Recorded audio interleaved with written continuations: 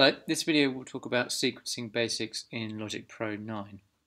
The first thing I'd like to discuss is the transport bar, which is located at the bottom of the screen. So here you have a whole host of information about your project, mainly to do with time and timing. So here we can see at what uh, minute or second uh, or millisecond uh, we are in your project which is just here, and also we can see which bar we're at just here. So say, say for instance, if I wanted to quickly jump to bar 9, uh, delete what's in the space, uh, type 9, hit enter, and that would take me to the beginning of bar 9 on my timeline. Um, you'll see here that what, what is selected is uh, a loop uh, length or left locator and right locator. And and these uh, are useful for when perhaps you're bouncing down your project. So if you wanted to bounce a particular section so let's say I want to bounce from bar 3 to 15 you'll see that the left and right locators have changed position. If I want to activate this um, this will now um, activate and, and, and if I play this region it will act as a loop and it will keep on playing this section but I need to have this turned on as well if I wanted to bounce uh, whatever was between left and the right locators. You also have your tempo which can be adjusted by double clicking and typing in three values or two values often. Um, you also have the project end location. So say for example you can see here that the project ends at 15. Um, let's just type 16 so that you can see that. So basically when uh, your project plays um, it will stop at this point and go no further. Here you have your time signature, which is expressed as a numerator and denominator. Below you have your division. Now this is particularly useful if you're dealing with different note values and different time signatures. So if we had triplets in 4-4, then we could change our division to 12 and by opening a region you can see that each crotchet beat, so 1, 2, 3 and 4 has been subdivided into threes. Now if we increase that to 16 it will move to 16th notes or semiquavers. Equally if we moved it to 8 quavers and you can go through each of the other subdivisions sextuplets, demi-semiquavers, etc. Now, the um, other important parts of the transport bar are your input and output. So depending on whether you have a particular note being played by a particular part or a chord, that will be displayed just here it will tell you exactly which note or which chord is being played. And not only the pitch but the a particular octave that that pitch falls within. Another important aspect of the transport bar is your CPU usage. So it, it, it basically the computer is telling you, um, or the transport bar is telling you how your computer is performing. So if you're using lots of effects and processors, you're likely to see your CPU uh, usage rise considerably.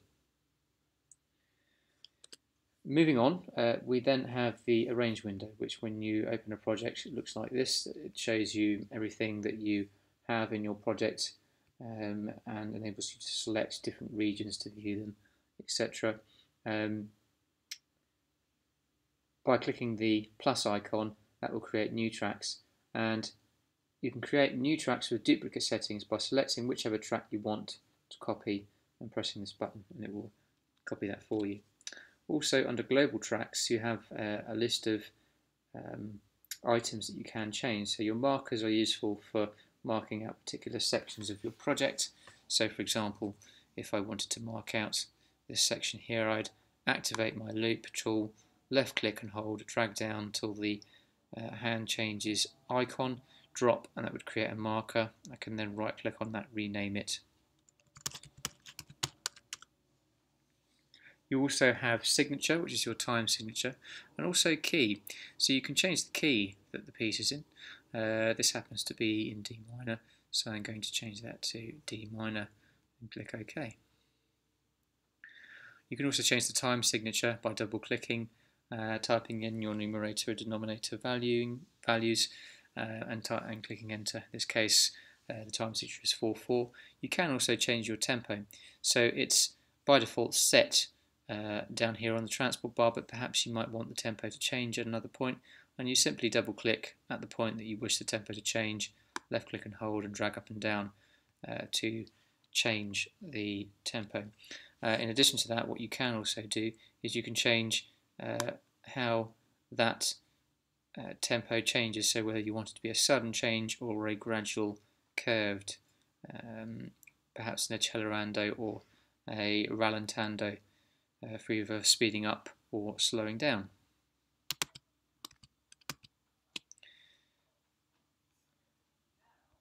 In addition to these three default global tracks, you can right click on the grey space of global tracks and you can load up video if there's a video that you're composing to, chords, transposition and also beat mapping. You can configure your global tracks and tick those that you want to view also there.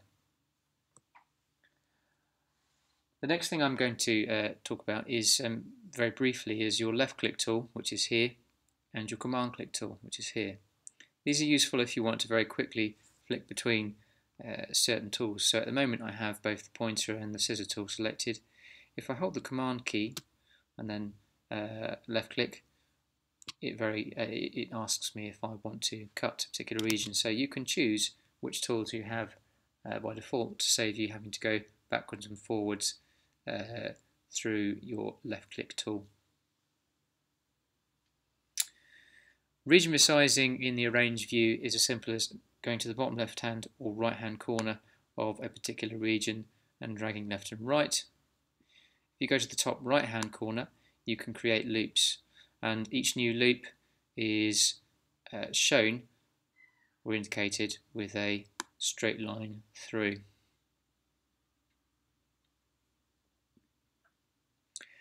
When we talk about looping sections we sometimes also refer to looping a section to listen to, which can be done using your left and right indicators. And it shouldn't be confused with looping a section or a region of MIDI data or audio. Now for each region you can open the list view which has been open all this time and you can click on the event tab and this will show you all of the events within a particular region. The most common uh, event that you're likely to see are notes, but you can also see others uh, which are other types of MIDI information which may include pitch bend and modulation.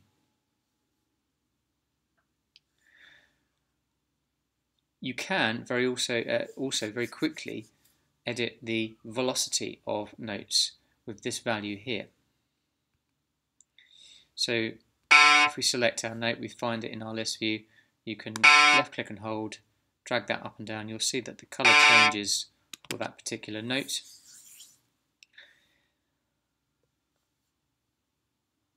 Under the Events tab, um, for some slightly more complex editing of MIDI data, or perhaps um, general uh, mass editing of it, we can select functions and transform, and here a whole host of options um, that allow you to edit data in the way that you'd like to. So for a fixed velocity, so something playing exactly the same force, we would select this, which brings up a menu with the data selected. You click operate, but if you wanted to select everything in the region and operate, select and operate, and that would then apply a velocity value, in this case of 100 out of 127 to each of those MIDI notes. Now in addition to this function and form of transformation, humanize will be a particularly useful uh, type of trans uh, transformation. So you can see here that there are very subtle differences in the velocity of this guitar part. However, if I was to select one that perhaps hadn't been edited, you can see that a vast majority of the actual notes all have the same velocity value. What we're going to do then is we're going to click in the piano roll view and hold command and press A. That will select all of the notes within that region. We then go to functions, transform, and humanize. You can then select by how much the position, velocity and length of notes are randomized, in this case uh, not by that much, to give you some indication of the um, amount by which uh, something is, is randomized. A semiquaver would be uh, a 1 in, uh, in, in this column here. So if we drag this up to 1 and then drag this to 0, that would represent randomizing the position by up to a semiquaver. Um, and that can be either uh, moving forwards in time or going backwards in time, so that's something to consider. Um, now what we're going to do is we're going to cancel that, we're going to go back to it and just move it by the original value, which was 10. It's back to 0. So all the data is selected. So we're going to select operate and you can see it's made very subtle changes to the note velocity, uh, the position and the length. And the length info for each note is provided on the right hand side of the event tab. Now within the piano roll you have the option of left clicking with your pointer tool holding to change the rhythmic or timing uh, position of each note and also its pitch. You can also change its length by hovering over the right hand side of the note and dragging backwards and forwards. Another useful uh, tool to be aware of is that if you have played a part in using a MIDI keyboard and it sounds a little bit out of time, or rather too out of time, and it needs to sound perhaps robotic, is that you can make use of the quantize tool, which is just here. So let's say, for example, I select these notes here where they are very, very slightly, in some cases, just out of time. I can select the rhythmic division that I want to quantize, and in this case we're working with triplets, so 1 over 12. If you were working in a time signature that didn't have tri triplets as part of the rhythms, you'd probably opt for something like uh, 1 over 8 for quaver note rhythms and 1 over 16 for 16th note rhythms. So in this case I've got my 1 over 12 and by selecting that, that has then moved the data. If you have uh, another region that you haven't selected, you could then go forwards, you could select that data and you could press the Q button either here or you can press the Q button on your keyboard.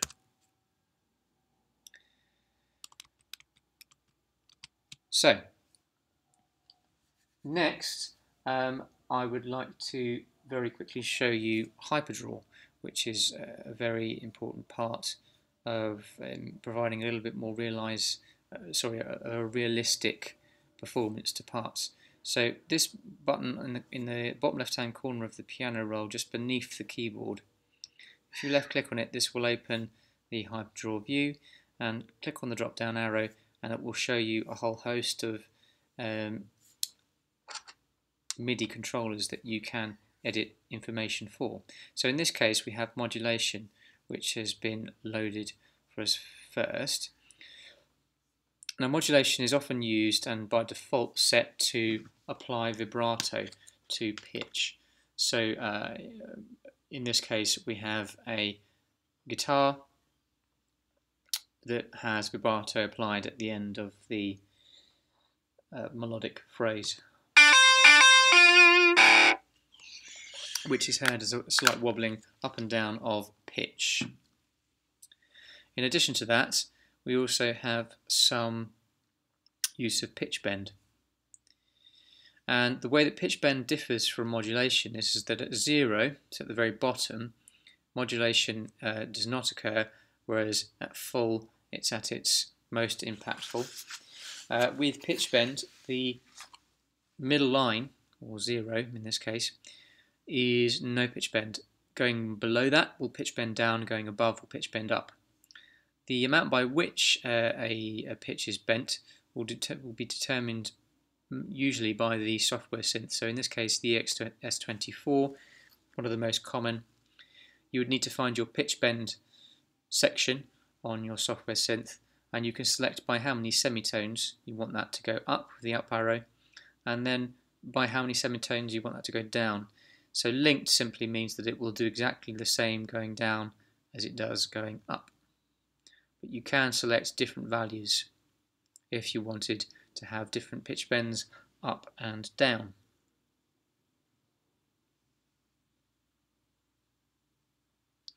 So let's just very quickly listen to some pitch bend in action.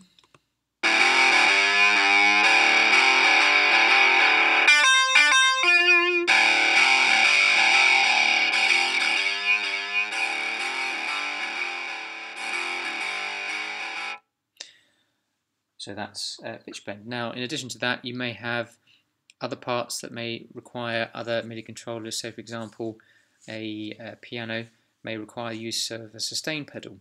So, the the difference then between uh, modulation and um, the, the, sorry, the difference between modulation and pitch bend with a sustain pedal is that they are either a continuous or non-continuous uh, controller. So with pitch bend modulation, they are what's known as continuous controllers, and sustain pedal is non-continuous because there is simply an on or off value for these controllers. Okay, so either foot pedal is off, represented by 0, or foot pedal is on by 127.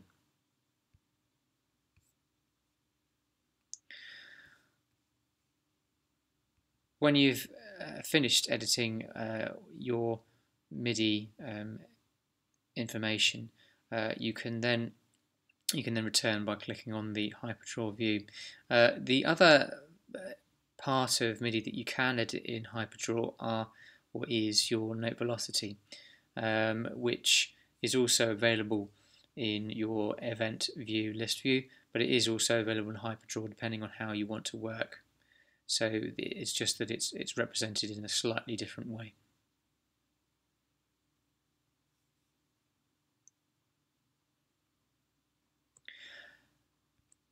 Finally then, I'd like to move on to the mixer view in Logic and to just describe a few uh, key features. So on each track uh, you have your mute button, your solo button, um, which uh, mute stopping the sound so it doesn't play solo would mean it by itself playing uh, without any other instruments heard. You also have your fader, which you can move up and down by left clicking and holding. You can also type in values. So remembering, of course, that 0 dB is the highest value and all of these are negatives. So if we wanted to change this to minus 7, we type minus 7 and it would move down accordingly. And similarly, minus 20 and it would move down to minus 20. You also have your panning control, so your panning rotary. By left clicking and dragging to the uh, uh, to or down, that moves the, the, the sound in the stereo field to the left hand side. By dragging up, that moves it to the right hand side. And there's a maximum of uh, either 63 or 64 either side, depending on whether you're panning left and right. No panning um, can be typed in as 0 and similarly you can type in values to get very specific panning measurements. In addition to your panning you have uh, an output which is here. So you can select where that sound goes. And you also have your input. So what it is that's actually making the sound. So in this case the EXS24 you have your sends which can be used for sending signal to buses, which, uh, for example, is useful when you're creating uh, groups uh, uh of uh, sounds for things like stereo reverb. And then above this, you have your um, inserts. So you can see that the, the, the plugins that are blue are, are those that are, that are active. And if we wanted to turn them on and off, we simply hold the Alt key on the keyboard and left click and it turns them on or off. To remove a plugin, you left click and hold on that plugin and select no plugin. To apply a plugin, you left click and hold and then you run through the menus to find the plugins that suit what it is you're trying to do to your signal. Some of the most common will probably be use of delay. If you're starting with delay, I'd, I'd recommend using the tape delay, When you're a little bit more confident, move on to de Delay Designer. Dynamics, you will certainly be making use of the compressor for controlling and limiting the dynamic range of signals. You may use de-essers to control sibilance in sounds, particularly vocals. You may use a limiter in very rare cases to effectively apply a heavier form of compression to audio to make sure that it does not go above a specific level. And a noise gate can be useful for cutting out unwanted sounds. So for example, with a kick drum or a snare drum or a vocal, the parts in between where you don't want that sound to be heard or anything the mic, uh, anything that the mic has recorded to be heard, you can use, you use that. You set your threshold, and anything that is quieter than that threshold level will not uh, be uh, will not be heard uh, on that track. You have your EQ, which you can select uh, default, and the best to use in most cases is your channel EQ, which can also be opened up by double clicking on the visual representation of your EQ. Um, when your EQ is is on, um, the bypass button will be off. If it's if if it's not working, then bypass will be clicked down. You can see there by turning it on and off that it's not working. If there's no EQ applied, you just simply double click on EQ and it will open up a new EQ plugin for you.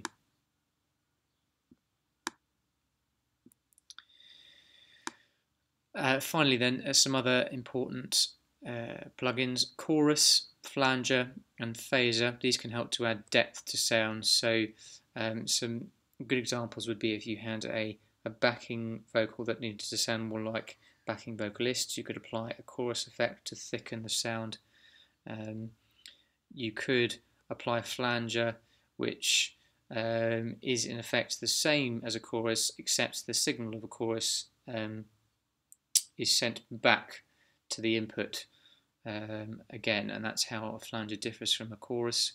Very briefly, uh, a phaser is where the uh, the audio signal um, can be split uh, into two parts, um, and it is sent in and out of phase, either negative or positive, which can help to create a sort of a whooshing effect. Um, a good example of a flanger would be um, Are You Going to Go My Way by Lenny Kravitz. Uh, if you listen to the guitar solo in that, you'll hear a flanger. Finally, then, uh, reverb is particularly useful. Averb, perhaps the most simplest form of a synthetic reverb. Um, in addition to that type of synthetic reverb, you have EnVerb, gold verb, PlatinumVerb, and SilverVerb, which are all synthetic using algorithms to create reverb mathematically. The only differing uh, type of reverb is Space Designer, which is a convolution reverb, uh, essentially sampled reverb. So the way that this works is that, um, for example, a recording engineer has gone into a space with a microphone, recording software, uh, a balloon, and a pin. Uh, the mic is set up, you hit record, and you pop the balloon in that space, and the resultant sound is recorded uh, and then dragged into a viewable space. So you can actually drag audio waveforms into this uh, square space here um, to create your own uh, reverbs. Sampled uh, reverb and Space Designer is perhaps going to give you the most realistic sounding reverb and the most natural sounding because it has been done in uh, authentic uh, places rather than relying on mathematical algorithms to calculate space and depth, for example. Um, so there you have how to uh, turn on certain plugins. Uh, the only other thing to uh, to mention would be your use of uh, all tracks once mixed. So let's say, for example, uh, have a look at all of these tracks together. So by selecting everything together, you can then very quickly move all faders up and down to desired levels.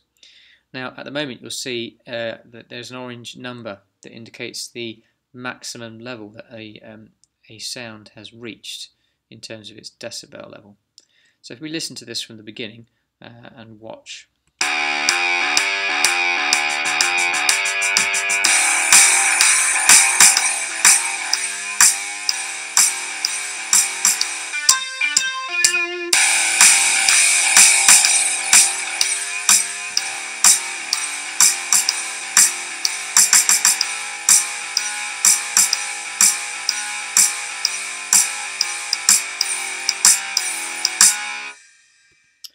notice is that each track has its own maximum decibel level indicated and that the output, uh, the master output has clipped.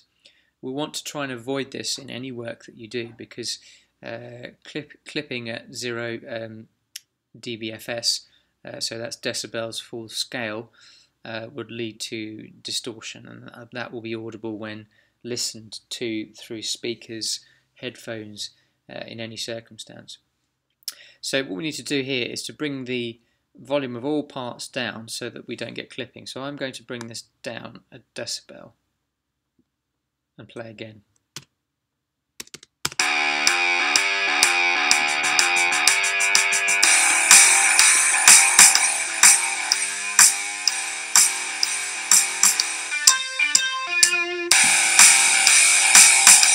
Now we can see here that that is as close to 0 dB as it possibly could be. So we're at minus 0.4 and that is, um, in this case, perfect because um, you want your core to be as loud as possible without clipping.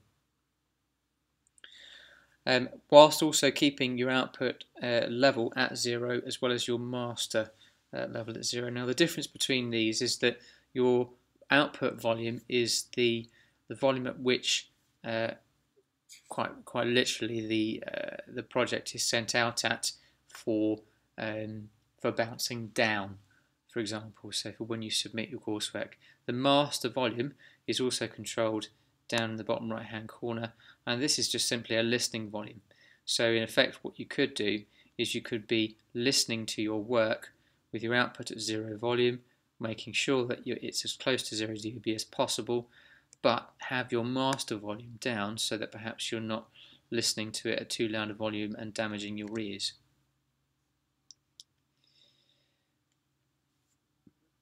So that should conclude uh, most of the uh, basics of, of, sequencing in Logic 9. Uh, thank you very much for watching.